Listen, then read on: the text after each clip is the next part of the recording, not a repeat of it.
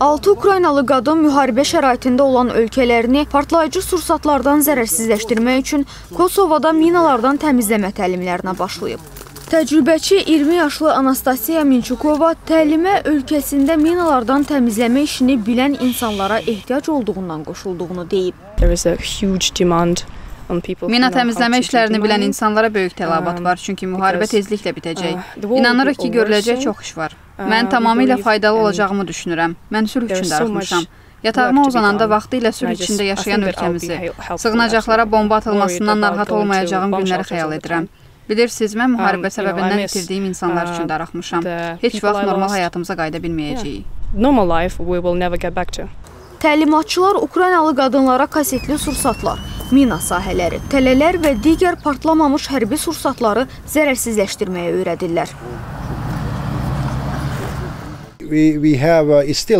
Təxminən memories. 23 il keçməsinə baxmayaraq, onlar hələ də yaddaşımızda təzədir. Kosovoda əraziləri minalardan təmizləyəndə qarşılaşdığımız çətinliklər hələ də yaddaşımızdadır. Beləliklə təlim mərkəzi bizim təcrübəmiz əsasında qurulub və bu birinci əldən təcrübə kimidir.